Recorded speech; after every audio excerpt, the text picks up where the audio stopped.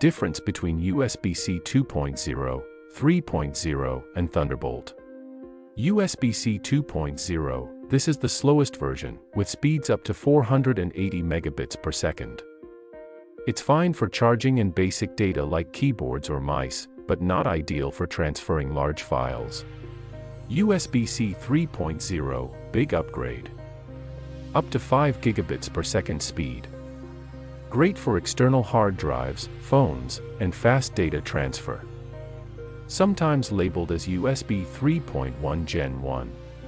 Thunderbolt 3 or 4 looks the same as USB-C but way more powerful. Speeds up to 40 gigabits per second, supports 4K or even 8K displays, external GPUs, and high-speed storage, all through a single cable. Not all USB-C ports are the same. USB-C 2.0 is fine for charging but slow for data.